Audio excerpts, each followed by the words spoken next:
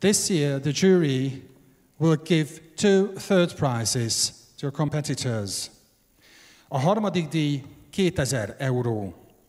Az egyik harmadik díjas Dél-Korea képviseletében Dangriul Lee,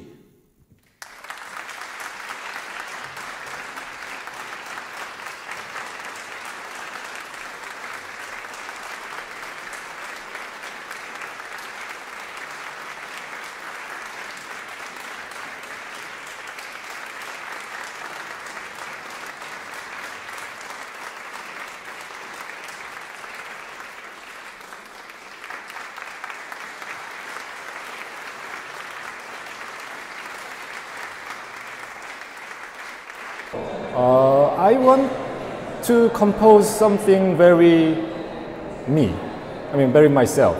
Uh, in that point, I was quite satisfied with the concert because my voice was quite unique at the concert, I think.